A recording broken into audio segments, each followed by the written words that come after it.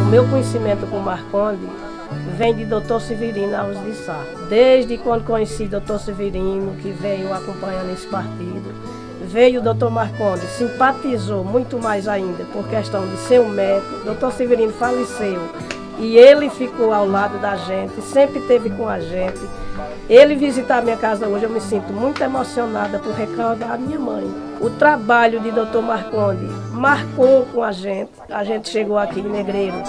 Em seguida, ele botou a coleta do lixo, na época ele era prefeito, botou um posto de saúde, que é uma extensão da Vila Curi, para funcionar.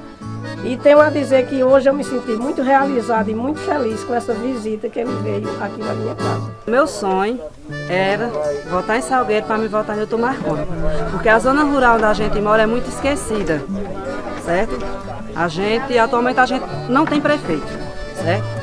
Então a gente precisa de uma pessoa que possa representar a gente na comunidade e eu tenho certeza que o doutor Marconi com o doutor Edilton vai nos representar. Eu voto em doutor Marconi pela sinceridade, pelo trabalho que ele tem, por ele ter o conhecimento, principalmente com a medicação nos postos de saúde, que quantas vezes a gente hoje compra medicação por faltar no posto de saúde e teve mais compromisso com a, a pobreza. Ele é o médico dos pobres.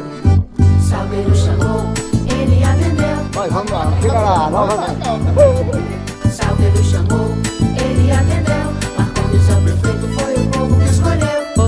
Ainda estão marcando para melhorar aqui o posto nosso, que não tem nenhum de pirona para uma criança dessas daqui, minha gente.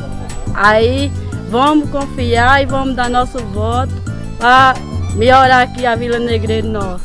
Salgueiro chamou.